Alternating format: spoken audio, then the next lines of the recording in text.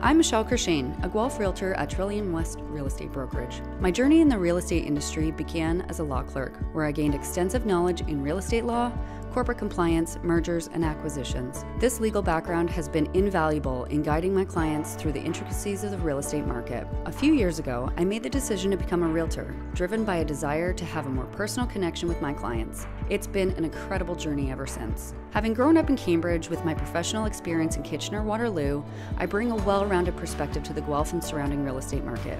I understand the broader region and can provide valuable guidance based on my familiarity with these areas. I'm also a very proud resident of the Kortright East community and I absolutely love everything Guelph and the surrounding area has to offer.